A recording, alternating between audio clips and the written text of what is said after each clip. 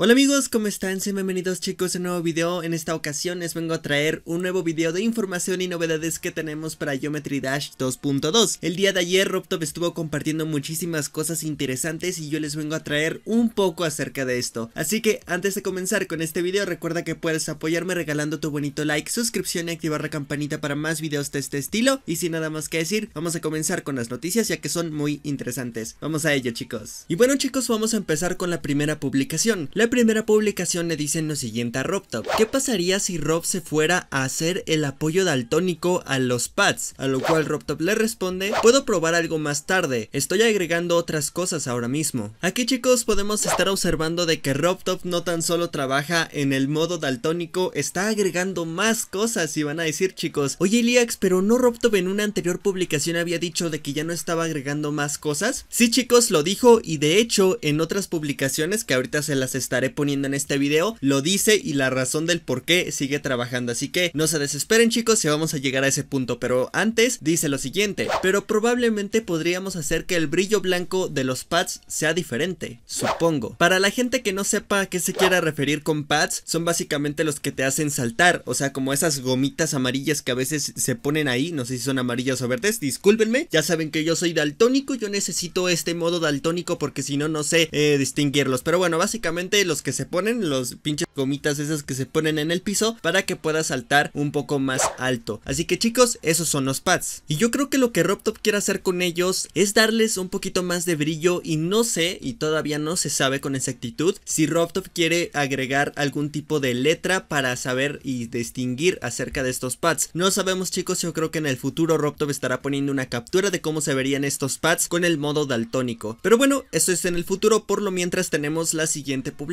Y esta publicación es a lo que vinieron, ¿no? A lo que ustedes se preguntan, oye, pues no, que estaba ahí diciendo que la 2.2 ya no estaba agregando nada. Pues sí, chicos, un usuario le dice lo siguiente, pensé que habías dicho que no ibas a añadir más cosas nuevas. A lo cual RobTop le responde, esto solo son pocas horas de trabajo, creo que vale la pena. Aquí chicos les tengo que decir una cosa, no son pocas horas, porque llevamos más de una semana, yo creo que una semanita, sabiendo esto de los portales, de los nuevos portales, de cómo sería el nuevo portal, luego cómo le agregó iconitos, o sea, los logotipos a los portales, etcétera. Esto ya no son trabajos de pocas horas, ya son trabajos de días, porque normalmente RobTop está actualizando cada vez los portales, está agregando portales, está agregando cosas para el modo daltónico y no son pocas horas, porque si fueran pocas horas de trabajo ya lo hubiera acabado. Y de hecho yo creo que en la tarde, o sea, hoy en la tarde les estaré subiendo un pequeño error que tuvo RobTop acerca de estos portales y espero que les guste muchísimo, pero bueno, eso ya va a ser para otro video. Así que vamos con otra publicación y es que un usuario le pone lo siguiente. RobTop, ¿has arreglado el bug de los duales invisibles? Última vez que lo pregunto. Para la gente que no sepa acerca de este bug, básicamente es que cuando tú entras a los duales, se te pone por una razón muy desconocida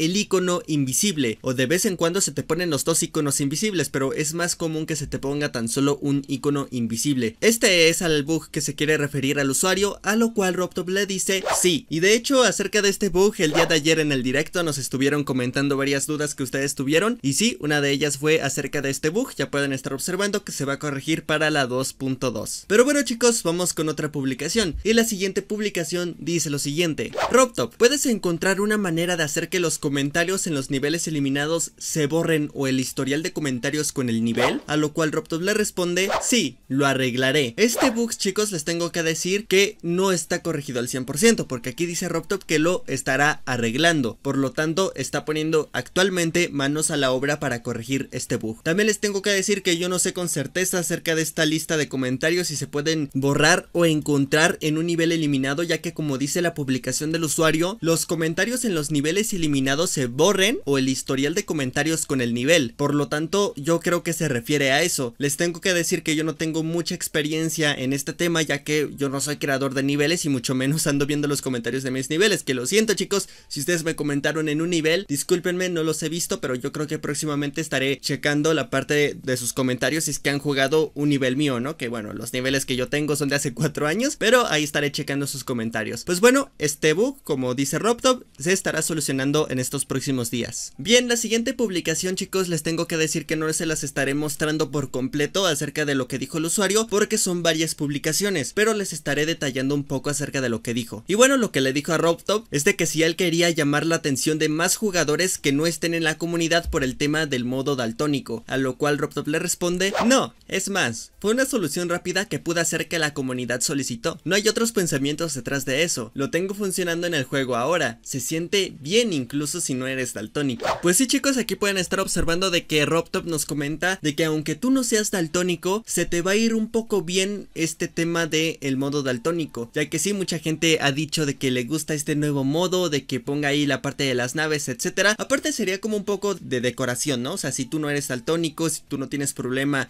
en ese aspecto, si te gusta de todas formas, yo creo que sería algo decorativo para ya sea tu juego de Geometry Dash y quisieras agregar ese modo, ¿no? De todas formas no te afecta mucho en el modo de juego de Geometry Dash. Y bueno, vamos con la última publicación. La última publicación es acerca de sus cuentas y a ver si hay un poco más de seguridad en sus cuentas. Y este que un usuario le pone lo siguiente. Oye, ¿hay alguna posibilidad de que en la 2.2 podamos obtener un 2FA a través del autenticador de Google en nuestras cuentas? A lo cual RobTop le responde, no para la 2.2, pero tal vez después. Para la gente que no sepa acerca del 2FA, que yo tampoco sé mucho, pero bueno, sé un poco, es de que básicamente te lo piden en el Discord para tener una mayor seguridad en tu cuenta. Y obviamente de que cada vez que tú entres en tu cuenta te piden un código y así tú tienes que copiar el código y pegarlo para que puedas acceder a tu cuenta y obviamente iniciar sesión. Esto es lo que te llega a pedir un 2FA, básicamente un código extra para que tengas un poco más de seguridad al momento de abrir tu cuenta. Y dice RobTop que no va a estar para la 2.2, pero posiblemente pueda estar en futuras actualizaciones. Eso me gustó mucho chicos, ya que sí me ha tocado ver en la parte de los comentarios que me llegan a decir de que le hackearon su cuenta a tal usuario o que de repente los hackearon a ustedes, los hackearon a ustedes chicos y me llegan a decir en la parte de los comentarios que ustedes qué pueden hacer. Si de repente pues borraron sus estadísticas, borraron sus niveles, qué pueden hacer para poder arreglar eso. Yo les tengo que decir que tristemente no he estado en una situación así. La última vez que llegué a estar así fue en el año 2015, o sea, imagínense hace 5 años y hace 5 años solamente me cambiaron la contraseña, pero bueno, tuve acceso a mi correo electrónico, pude cambiar la contraseña y listo, o sea, eso fue como que un poco de sustito, pero en sí nada más me cambiaron la contraseña, no pudieron hacer nada porque estaba la cuenta con mi correo electrónico, por lo tanto todavía tenía acceso a mi cuenta y bueno, solamente cambiaron la contraseña. Pero sí chicos, no sabría decirles acerca del temita, si ustedes tienen algún tipo de error acerca de este caso, lo pueden dejar aquí abajito en los comentarios, a lo mejor un suscriptor que sepa más del caso te puede ayudar. Y bueno chicos, yo creo que hasta aquí dejo este video, espero que les haya gustado muchísimo, ya sabes que tu opinión es lo más importante de cada video, espero que me la dejes aquí abajito en los comentarios ya que te estaré leyendo y dejando un pequeño corazoncito, y si no ves el corazoncito discúlpeme, pero mi día ha estado un poco ocupado, de todas formas estaré leyendo tu comentario, no sé si en la tarde, no sé si en la noche, pero lo estaré leyendo, así que espero que lo dejes aquí abajito en los comentarios, también espero que me puedas apoyar regalando tu bonito like, suscripción y activar la campanita para más videos de este estilo, y sin nada más que decir, nos veremos más tarde con el video acerca del buxillo que dijo RobTop y bueno que ocasionó para los portales del modo daltónico. Espero no se lo pierdan ya que está muy interesante. Adiós chicos.